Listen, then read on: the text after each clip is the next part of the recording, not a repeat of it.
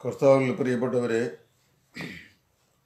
നിങ്ങൾക്കെല്ലാവർക്കും വീണ്ടും ബന്ധവനായ യേശു ക്രിസ്തുവിന്റെ ധന്യമായ നാമത്തിൽ വീണ്ടും എനിക്കുള്ള സ്നേഹ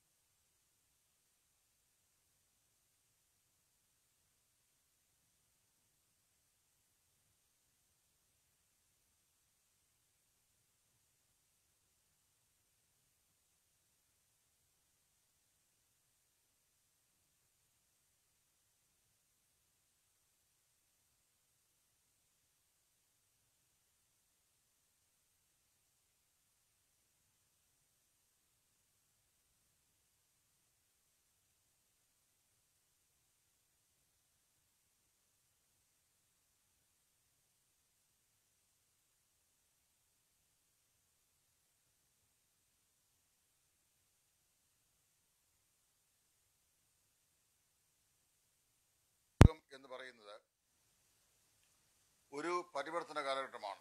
ഇപ്പോൾ സൗണ്ട് ഉണ്ടോ ഇല്ലയോ എന്ന് പറഞ്ഞാട്ട് is there a sound please princess are sound ഉണ്ടോ? ഓക്കെ സൗണ്ട് ഉണ്ടോ? ഇപ്പോൾ കേൾക്കാൻ കഴിയുന്നുണ്ടോ? കേൾക്കാൻ കഴിയുന്നുണ്ടോ പ്രിൻസസ് സാർ ഓക്കെ കേൾക്കാം. ഓക്കെ പ്രത്യേകം ശ്രദ്ധിക്കുക. ഇവിടെ നമ്മൾ പഠിക്കാൻ പോകുന്ന വിഷയം ഷമുവേലിന്റെ പുസ്തകത്തിൽ നിന്നാണ്. ഷമുവേലിന്റെ ഒന്നാമത്തെ പുസ്തകം. ആ ഷമുവേലിന്റെ ഒന്നാമത്തെ പുസ്തകം എന്ന് പറയുന്നത് ഒരു പരിവർത്തന കാലഘട്ടത്തെ പരാമർശിക്കുന്ന പുസ്തകമാണ്. ന്യായാധിപന്മാരുടെയും അതുപോലെ തന്നെ രൂത്തിന്റെയും പുസ്തകത്തെ തുടർന്നു വരുന്ന ഈ പുസ്തകത്തിനകത്തെ അതിപ്രധാനമായ വിഷയം എന്ന് പറയുന്നത് ദൈവാധിപത്യം മനുഷ്യ ആധിപത്യത്തിന് അല്ലെങ്കിൽ ഏകാധിപത്യത്തിന് മനുഷ്യാധിപത്യത്തിന് വഴിമാറുന്ന ചരിത്രമാണ് ഈ ഷമുവലിന്റെ ഒന്നാമത്തെ പുസ്തകത്തിലെ പ്രമേയം എന്ന് പറയുന്നത്. ഇതിനകത്തെ പ്രധാനപ്പെട്ട കഥാപുരുഷന്മാർ എന്ന് പറയുന്നത് ഷൗൽ അതുപോലെ തന്നെ ഷമുവേൽ ദാവീദ് എന്ന് പറയുന്ന മൂന്ന് പ്രത്യേക വ്യക്തികളാണ്. പ്രീസ്റ്റ് ഈ പുരോഹിതന്മാരിൽ നിന്ന് പ്രവാചകന്മാരിലേക്കും ആത്മീക ശുശ്രൂഷകൾ പരിവർത്തനപ്പെടുന്നത് ഈ പുസ്തകത്തിന്റെ ഒരു പ്രത്യേകതയായി നമുക്ക് കാണുവാൻ കഴിയുന്നു. ഇവിടെ നമ്മൾ വായിക്കുന്നത് ഒരു രാജാവിനെ ഞങ്ങൾക്ക് വേണം എന്ന് നിലവിളിച്ച് അപേക്ഷിക്കുന്ന ഒരു ജനതയാണ്. ആ ജനത്തിന്റെ അപേക്ഷ പോലെ ഒരു ഒരു രാജാവിനെ ദൈവം അവർക്ക് കൊടുക്കുന്നതായും ആ രാജാവ് അവരെ ഭരിക്കുന്നതായും how the people have denied or rejected theocracy into monocracy എന്ന് നമുക്ക് പഠിക്കാൻ കഴിയുകയും ചെയ്യുന്ന ഒരധ്യ ഒരു പുസ്തകമാണിത്. ഈ പുസ്തകത്തിലെ അതിപ്രധാനമായ ഒരു പ്രമേയം എന്ന് പറയുന്നത് കർത്താവിന്റെ അതായത് യഹോവയുടെ നിയമപക്ഷകം ഇസ്രായേലിൽ നിന്ന് നഷ്ടപ്പെട്ടു പോകുന്ന ചരിത്ര സംക്ഷേപമാണ് ഷമുകളുടെ ഒന്നാം പുസ്തകം അതിന്റെ നാലാം അധ്യായം നമ്മൾ പഠിക്കുമ്പോൾ അവിടെ നമ്മൾ വായിക്കുന്നത് അതിപ്രധാനമായ ഒരു വിഷയമാണ്. അതായത് ഈ ഇസ്രായേലിലെ പൗരോഹിത്യം വളരെയധികം മ്ലേച്ഛതയിലേക്ക് വഴുതി വീണ ഒരു കാലഘട്ടം. ഏലി മഹാപുരോഹിതൻ മഹാപുരോഹിതനായിട്ടിരിക്കുകയും അദ്ദേഹത്തിന്റെ പൗരോഹിത്യത്തിന്റെ ശുശ്രൂഷകൾ അദ്ദേഹത്തിന്റെ രണ്ട് വഷളന്മാരായ ആൺമക്കൾ അത് കയ കയ്യേറുകയും അങ്ങനെ പൗരോഹിത്യം മലിനപ്പെട്ടു പോവുകയും ചെയ്യുന്ന ഒരു കാലയളവാണ് ഈ പുസ്തകത്തിന്റെ പശ്ചാത്തലമായിട്ട് ഇരിക്കുന്നത്. അതുകൊണ്ട് നമ്മൾ വായിക്കുന്നത് ഷമുവിന്റെ ഒന്നാം പുസ്തകം രണ്ടാം അധ്യായത്തിന്റെ പതിനേഴാം വാക്യം വായിക്കുമ്പോൾ ആ സദ്യം നമുക്ക് മനസ്സിലാക്കുവാനായിട്ട് സാധിക്കുന്നുണ്ട്. അവിടെ വളരെ ദുഃഖകരമായ ഒരു വിഷയം ദൈവത്തിന്റെ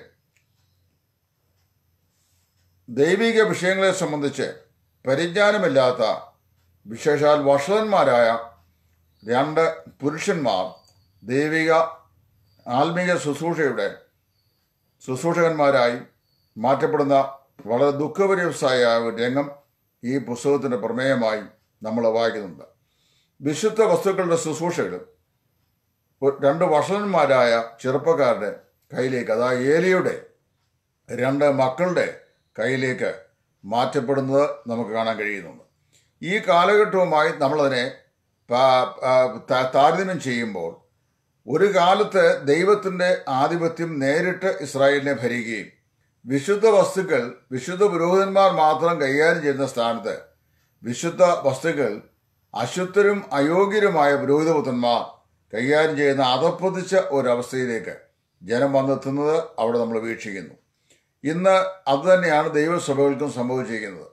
അതായത് ദൈവഭയത്തോടും വിശുദ്ധിയോടും വേർപാടിന്റെ അനുഭവത്തോടും നന്മയോടും കൂടെ കർത്താവിനെ സ്നേഹിക്കുകയും സേവിക്കുകയും ആരാധിക്കുകയും ചെയ്ത ദൈവജനത്തിന്റെ ഇടയിലെ ആത്മീയ ശുശ്രൂഷകൾ പലതും അശുദ്ധന്മാരായ ആളിൽ അതായത് വിശുദ്ധ വസ്തുക്കളെ തൊടാൻ പോലും യോഗ്യതയില്ലാത്ത ആളുകളുടെ കയ്യിലേക്ക് വഴുതി വീണിട്ട് ആത്മീയ ലോകം കലുഷിതമായി പോകുന്ന ഒരു കാലഘട്ടത്തിലാണ് ഞാൻ നിങ്ങളും ജീവിക്കുന്നത്. ഏലിയുടെ ഈ രണ്ട് ആൺമക്കൾ ഇന്നത്തെ കാലത്തെ ഈ കാലത്തെ ദൈവസഭയിലെ ആത്മീക ശുശ്രൂഷയ്ക്ക് ചുമൽ കൊടുക്കുന്ന ആളുകളുടെ ഒരു മനോഹരമായ ചിത്രമാണ്. അതായത് പാപത്തിൽ മുഴുകി ജീവിക്കുകയും വ്യഭിചാരം പോലുള്ള പാപവും മോഷണം പോലുള്ള പാപവും സ്ഥിരം തൊഴിലാക്കുകയും ചെയ്ത ശേഷവും ദൈവിക വിശുദ്ധ വസ്തുക്കളെ അല്പം പോലും ഭയം കൂടാതെ തൊടുവാനും യഹോവയുടെ ആലയത്തിൽ പുരോഹിതം ചെയ്യുന്ന ശുശ്രൂഷകൾ അത് തട്ടിപ്പറിച്ച് ആ ശുശ്രൂഷ ചെയ്യാനും തെല്ലും ഉളുപ്പില്ലാഞ്ഞ മടിയിലായിരുന്ന ഈ പുരോഹിത പുത്രന്മാരെ പോലെ ഈ ആധുനിക കാലത്തും ദൈവസഭകളിൽ വിശുദ്ധ വസ്തുക്കൾ തൊടുവാനോ അല്ലെങ്കിൽ ആ ശുശ്രൂഷകൾ ചെയ്യുവാനോ പാടില്ലാത്ത ആളുകൾ അശേഷം ദൈവഭയമില്ലാതെ ആത്മീയ ശുശ്രൂഷ രംഗത്തേക്ക് പ്രവേശിക്കുകയും മൂപ്പന്മാരുടെ കൃപാവരമില്ലാത്തവർ മൂപ്പന്മാരാകുകയും വിശുദ്ധ മേശമേൽ ശുശ്രൂഷ ചെയ്യുവാൻ യോഗ്യതയില്ലാത്തവർ ആ ശുശ്രൂഷ ചാടിക്കയറി ചെയ്യുകയും അങ്ങനെ ആത്മീക ശുശ്രൂഷ പൗരോഹിത്യ ശുശ്രൂഷ മുഖം മുഴുവനായും മലിനപ്പെട്ടു പോകുന്ന ഒരവസ്ഥയിലേക്ക് വഴുതി വീഴുകയും ചെയ്ത ഈ കാലഘട്ടത്തിന്റെ മനോഹരമായ ഒരു ചിത്രമായിട്ടാണ് നമുക്ക് ആ കാലഘട്ടത്തെ വീക്ഷിക്കാൻ കഴിയുന്നത്. മാത്രമല്ല ഈ സമയത്ത് വേറൊരു പ്രത്യേകത ഉണ്ടായിരുന്നു. ഇസ്രായേലിന്റെ ശത്രുക്കളായിരുന്ന ഫെലിസ്തീയർ ഇസ്രായേലിനെ ആക്രമിക്കാൻ അവരുടെ നേരെ വട്ടം കൂടിയ ഒരു സമയം. ആ സമയത്ത് ഇവർ ചിന്തിച്ചു യഹോവയുടെ പെട്ടകം ശീലോവിൽ തിരശ്ശീലയ്ക്കകത്ത് ഇരിക്കുകയാണ്.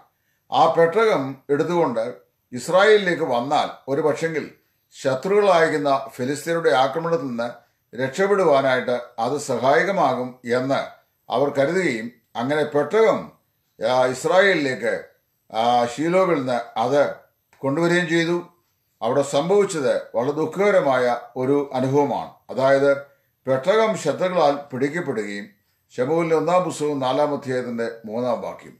പെട്ടകം ശത്രുക്കളാൽ പിടിക്കപ്പെടുകയും അതുപോലെ ഇസ്രായേലിൽ ഈ ഏലി പുരോഹിതന്റെ രണ്ട് മക്കൾ അവർ പട്ടുപോകുകയും ചെയ്തു. യഹോവയുടെ പെട്ടകം ദൈവജനത്തിന്റെ ഇടയിലുള്ള ദൈവ സാന്നിധ്യത്തിന്റെ ചിത്രമാണ്. ആ പെട്ടകം പിടിക്കപ്പെട്ടു എന്ന് പറഞ്ഞാൽ ദൈവ സാന്നിധ്യം അവരുടെ നിന്ന് നീക്കപ്പെട്ടു എന്നാണ് അതിന്റെ അർത്ഥം.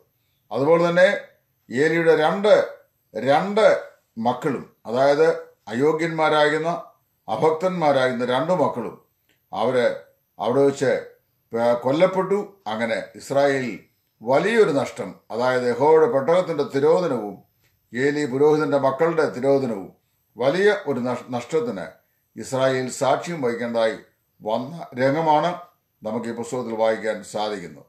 The ungodly man cannot preserve the power of true faith അതായത് അവിശ്വാസികളായ അഭക്തരായ ആളുകൾക്ക് ദൈവശക്തിയെ കാത്ത് സൂക്ഷിക്കുവാൻ ഒരിക്കലും സാധിക്കുകയില്ല. എന്നുള്ളതിന്റെ ഏറ്റവും വ്യക്തമായ തെളിവാണ് ഈ സംഭവ വികാസങ്ങൾ നമ്മെ വിളിച്ച് അറിയിക്കുന്നത്. മാത്രമല്ല സിൻ ഓൾവേസ് ബ്രിങ്സ് ഡെഫീറ്റ് പാപം എല്ലായ്പ്പോഴും മനുഷ്യനെ പരാജയഭീതിയിൽ അമർത്തുന്നു എന്നും ഈ പാഠഭാഗം പ്രത്യേകാൽ നമ്മെ ബുദ്ധിപദേശിക്കുന്നു എന്നാൽ ഇവിടെ നമ്മൾ മനസ്സിലാക്കേണ്ട മറ്റൊരു വിഷയം ഈ പുസ്തകത്തിലെ മൂന്ന് വ്യക്തികളുടെ ജീവചരിത്ര സംക്ഷേപം പരിശുദ്ധാത്മാവ് രേഖപ്പെടുത്തിയിട്ടുണ്ട് ഒന്ന് ശമുവേൽ പ്രവാചകൻ അല്ലെങ്കിൽ പുരോഹിതന്റെ ജീവചരിത്രം രണ്ട്.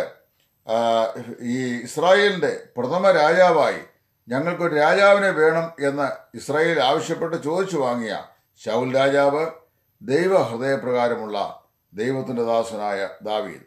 ഇങ്ങനെ മൂന്ന് പുരുഷ കേസരികളുടെ സംക്ഷിപ്ത ജീവചരിത്രം സംക്ഷേപിച്ചിട്ടുള്ള മനോഹരമായ പുസ്തകമാണ് ഷമുവിലിന്റെ ഒന്നാമത്തെ പുസ്തകം.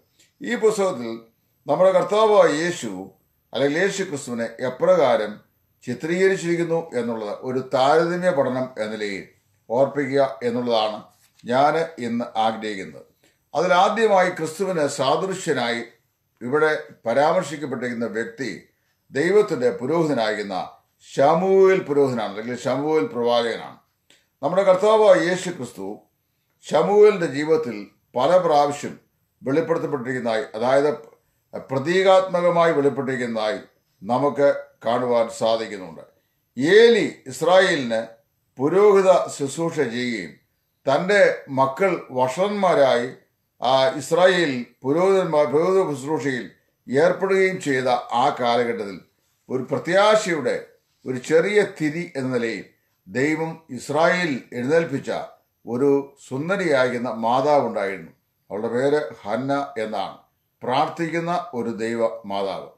അവൾ ദൈവസനയിൽ വളരെ പ്രാർത്ഥിച്ചു. അവിടെ പ്രാർത്ഥിച്ചപ്പോൾ ദൈവം അവളുടെ ഗർഭത്തെ തുറന്ന് അവൾക്ക് നൽകിയ ഒരു ആൺ പ്രജയാണ് ഇസ്രായേലിന്റെ പുരോഹിതനും പ്രവാചകനുമായി പിൽക്കാലത്ത് നീതിയോടും വിശുദ്ധിയോടും സത്യസന്ധതയോടും കൂടെ ശുശ്രൂഷ ചെയ്ത ശമുവേൽ പുരോഹിതനും പ്രവാചകനും.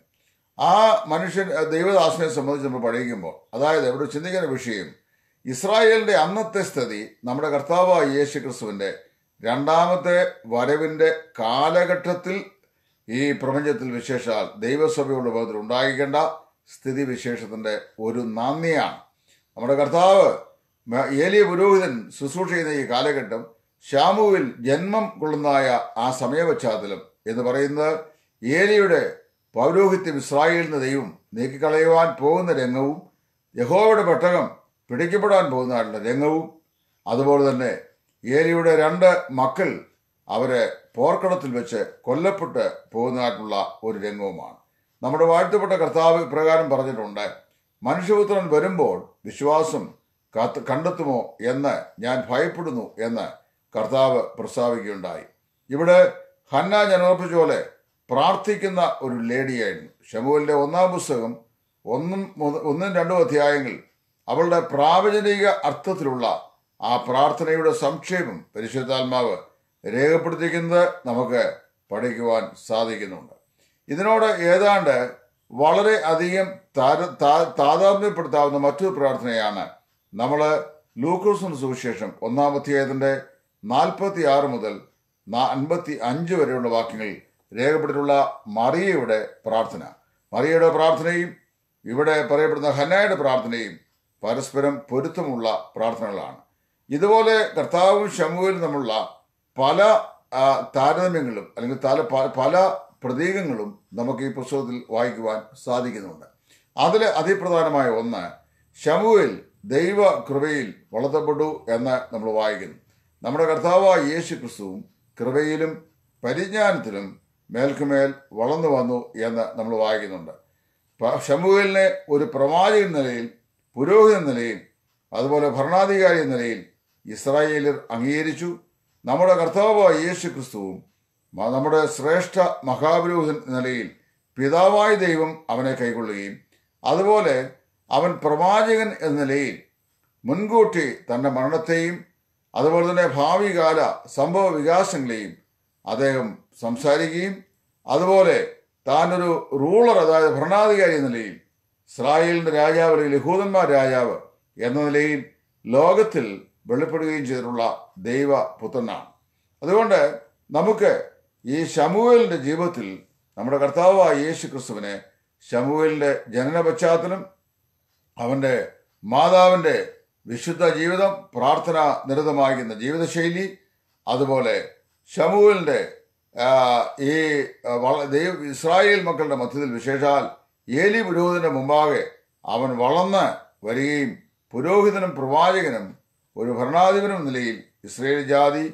അവനെ അംഗീകരിക്കുകയും ചെയ്ത മനോഹരമാകുന്ന രംഗം നമുക്ക് ഈ പുസ്തകത്തിൽ കാണുവാനായിട്ട് സാധിക്കുന്നുണ്ട്.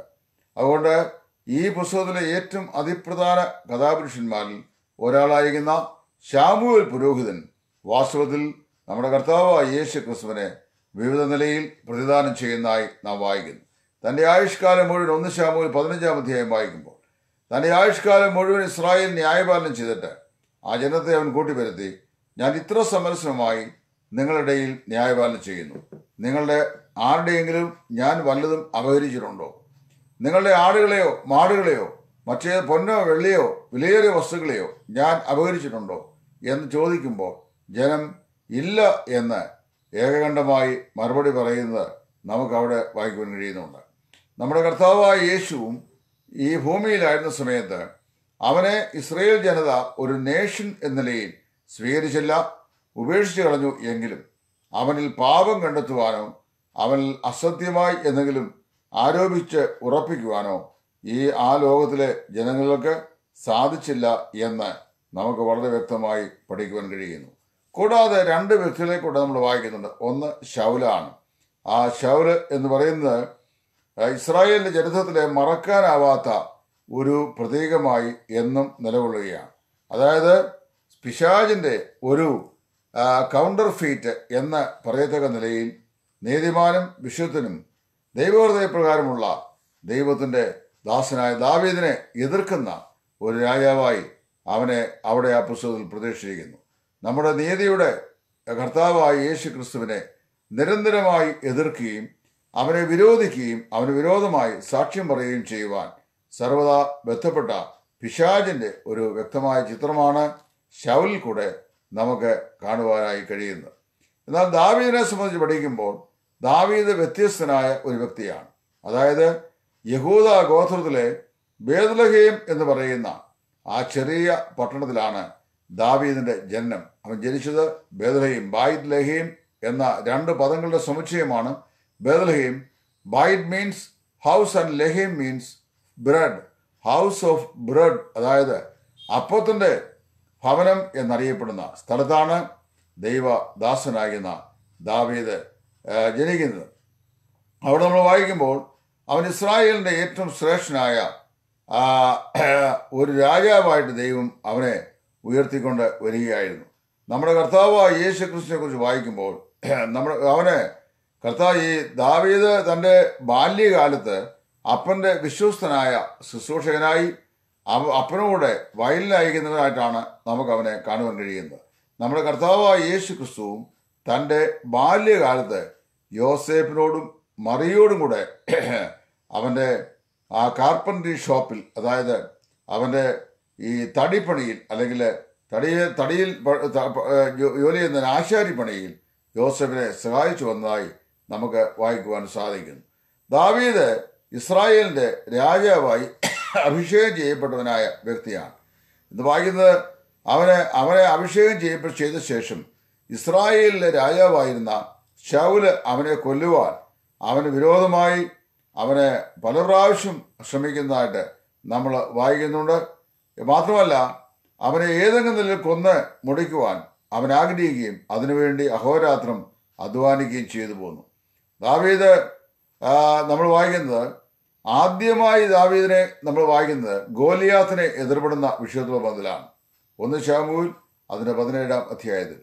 ഇസ്രായേൽ ഫെലിസ്തമല്ലായ ഗോലിയാത്തിനെ കുന്തവും വേലും താമ്ര താമ്രച്ചട്ടയും താമ്ര പതക്കവും ഒക്കെ ധരിച്ച് ഇസ്രായേൽ നിലകളെ വെല്ലുവിളിക്കുന്ന ഗോലിയാത്തിനെ യാതൊരു ആയുധവും കൂടാതെ കവണയും കല്ലുമായി എതിർപ്പെട്ട് മല്ലന്റെ തലയെ തകർത്ത് കളഞ്ഞ ഈ ദാവീദ് കാൽവല്ലെ ഗോൽഗോതായിൽ മാനവരാശിയെ നിരന്തരമായി വെല്ലുവിളിച്ചുകൊണ്ട് മരണഭീതിയിൽ അമർത്തിക്കൊണ്ട് വെല്ലുവിളി നടത്തിയിരുന്ന പിശാചിനെയും അവന്റെ സൈന്യത്തെയും തന്റെ ശരീരയാഗത്താൽ അതായത് തന്റെ ദേഹമെന്ന തിരശീല ക്രൂശിൽ ഏൽപ്പിച്ചു കൊടുത്തതിനാൽ എന്നേക്കുമായി തോൽപ്പിച്ച് അവരുടെ മേൽ ജയോത്സവം കൊണ്ടാടി അവയെ പരസ്യമായി കാഴ്ചയാക്കിയ നമ്മുടെ കർത്താവായ യേശു ക്രിസ്തുവിന്റെ മനോഹരമായ ഒരു ചിത്രമാണ്.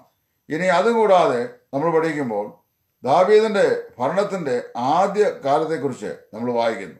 അങ്ങനെ the first part of David's reign was met with great acclaim by the nation അവന്റെ ഭരണത്തിന്റെ ആദ്യ കാലഘട്ടങ്ങളിൽ ജനം അവനെ രണ്ട് കൈ പഠിച്ച് സ്വീകരിക്കുകയും അവനെ ആദരിക്കുകയും ചെയ്തു. നമ്മുടെ കർത്താവായ യേശു ക്രിസ്തു തന്റെ ട്രയംഫലന്റ് വിജയകരമായ പട്ടണപ്രവേശനം എരിശ്രീ പട്ടണത്തിലേക്കുള്ള പ്രവേശനത്തിൽ നാം വായിക്കുന്നത് ഹോഷന്ന കർത്താവിന്റെ നാമത്തിൽ വരുന്നവൻ വാഴ്ത്തപ്പെട്ടവെന്ന് പറഞ്ഞാണ് ഇസ്രയേൽ മക്കൾ അവനെ സ്വീകരിച്ചത്. എന്നാൽ ആദ്യം അവനെ ദാവീദിനെ രണ്ട് കൈയും നീട്ടി സ്വീകരിച്ച് ആ യഹോവയുടെ അഭിഷക്തനായി ഇസ്രായേൽ രാജാവായി സ്വീകരിച്ച അതേ ജനം തന്നെ ആ ആ സ്വീകരണം അധികം കാലത്തേക്ക് നിലനിർത്തിയില്ല. കുറെ കഴിഞ്ഞപ്പോൾ നാം വായിക്കുന്നു ഇസ്രായേൽ തന്നെ ദാവീദിനെ ഉപേക്ഷിച്ച് കളഞ്ഞു. അങ്ങനെ ഉപേക്ഷിച്ച് കളഞ്ഞ പോലെ അവനെ അതുല്ലാ ഗുഹയിലും സീൻ മരുഭൂമിയിലും മറ്റ് പ്രാന്തപ്രദേശങ്ങളിലും മരുപ്രാന്തങ്ങളിലും പ്രാണരക്ഷാർത്ഥം അവനെ ഓടി അലഞ്ഞ് നടന്നു എന്ന് നമ്മൾ വായിക്കുന്നുണ്ട്. അവനോട് ഉണ്ടായിരുന്ന ഏതാണ്ട് ഒരു നാനൂറോളം ആളുകളാണ്. ആ നാനൂറോളം ആളുകൾ ആരൊക്കെയായിരുന്നു വളരെ വ്യക്തമായി പറയുന്നുണ്ട് കുരുടർ മുടന്തർ ഊമർ ചെകിടർ പിന്നെ ദരിദ്രർ. ഇങ്ങനെ ഇങ്ങനെയുള്ള ആളുകളാണ് ദാവീദിനെ തന്റെ ഗുഹയിലെ വാസത്തിലും മരുഭൂമിയിലെ സങ്കടകരമാകുന്ന ജീവിത കാലഘട്ടങ്ങളിലും പിൻപറ്റിയത്. നമ്മുടെ കർത്താവായ യേശു ക്രിസ്തു ഈ ഭൂമിയിലായിരുന്നു. അവന് തന്റെ ട്രയംഫൽ എൻട്രിയിൽ ആ എരിശിലേമിലുള്ള പുരുഷാരം അവനെ അംഗീകരിച്ചു അവനെ ഹോഷന പാടി കർത്താവിന്റെ നാമത്തിൽ വരുന്നവൻ വാഴ്ത്തപ്പെട്ടവൻ എന്ന് ഉറക്കെ ഷൗട്ട് ചെയ്തുവെങ്കിലും ആ സന്തോഷ വിജയാഹ്ലാദം നീണ്ടുന്നില്ല ആ ജനം തന്നെ അവനെ ഉപേക്ഷിച്ചു കളഞ്ഞു എന്ന് നമ്മൾ വായിക്കുന്നുണ്ട്. എന്നാൽ ദാവിദിനെ പിൻപറ്റിയ കുരുടർ മുഴന്ത് ചെകിടർ ഊമർ അതുപോലെ ദരിദ്രരായ ആളുകൾ മാത്രം അവനെ പിൻപറ്റിയ പോലെ. നമ്മുടെ കർത്താവായ യേശുവിന്റെ ഐക്യനാളുകൾ ചുങ്കക്കാരും പാപികളും ആയിട്ടുള്ള ആളുകൾ യേശു ക്രിസ്തുവിന്റെ സ്നേഹിതരും അവനെ പിൻപറ്റുന്ന ആളുകളുമായിരുന്നു എന്ന് നമുക്ക് പഠിക്കുവാനായി കഴിയുന്നു. എന്നാൽ ഇവിടെ നമ്മൾ വായിക്കുന്നുണ്ട് ഈ ദാവീദ് ഇസ്രായേലിന്റെ അഭിഷക്തനായി തീർന്നവനാണെങ്കിലും ഏറിയ കാലം ഷൗൽ അവന്റെ പിന്നാലെ നടന്ന് അവനെ ആ രാജസ്ഥ ശുശ്രൂഷ ഭംഗിയായി ചെയ്യുവാൻ അനുവദിക്കാറുന്നത് പോലെ നമ്മുടെ കർത്താവായ യേശു ഈ ഭൂമിയിൽ രാജാതിരാജ ഇസ്രായേലിന്റെ രാജാവായി വന്നവനാണെങ്കിലും അവന് അർഹമായിരിക്കുന്ന ഒരു അംഗീകാരം അവന്റെ ആദ്യത്തെ ഇസ്രയേലിൽ അവന് ലഭിച്ചില്ല എന്നുള്ളത് ഈ പുസ്തകത്തിലൂടെ നമുക്ക് മനസ്സിലാക്കുവാൻ കഴിയുന്നുണ്ട്. ഇവിടുത്തെ ഏറ്റവും പ്രധാനപ്പെട്ട വിഷയം അവിടെ ദാവീദ് ഒടുവിൽ ഇസ്രായേലിനായി ഇസ്രയേലിന് അല്ല അംഗീകരിക്കപ്പെട്ട രാജാവായി മാറുകയും അവൻ നന്നാ വയോധികനായി വൃത്തനായി തിരുവോളം ഇസ്രായേലിന് ന്യായപാലനം ചെയ്യുകയും ചെയ്തു എന്ന് നമ്മൾ വായിക്കുന്നു. ദാവീദ് കാട്ടിൽ അലഞ്ഞു നടന്ന് അത്യന്തം സങ്കടപ്പെട്ടു എങ്കിലും അവൻ പിന്നീട് വന്ന് ഇസ്രായേലിനൊക്കെയും അധിപതിയായ രാജാവായി ഇസ്രായേലിനെ നാൽപ്പത് സംവത്സരം വാണു എന്ന് നമ്മൾ വായിക്കുന്നുണ്ട്. ഇപ്പോൾ തിമോ തിരുവനന്തപുരം വായിക്കുമ്പോൾ തിമോത്യോസിന്റെ രണ്ടാം ലേഖനം രണ്ടാം അധ്യായത്തിന്റെ പന്ത്രണ്ടാം ഭാഗത്തിൽ വായിക്കുന്നത് if you suffer we shall also reign with അതായത് കഷ്ടത സഹിക്കുന്നുവെങ്കിൽ നാം അവനോടുകൂടെ വാഴും നാം അവനെ തള്ളിപ്പറയുന്നുവെങ്കിൽ അവൻ നമ്മയും തള്ളിപ്പറയും എന്നാണ്. ഇവിടെ ദാവീദ് തന്റെ സിംഹാസനം സ്ഥാപിച്ച് ഇസ്രായേൽ ഭരിച്ചപ്പോൾ അവനെ പിന്തുടർന്ന മുടന്തർ ഊമർ കുരുടർ ചെകിടർ ദരിദ്രർ ഇവരെ ആരെയും ദാവീദ് മറന്നില്ല.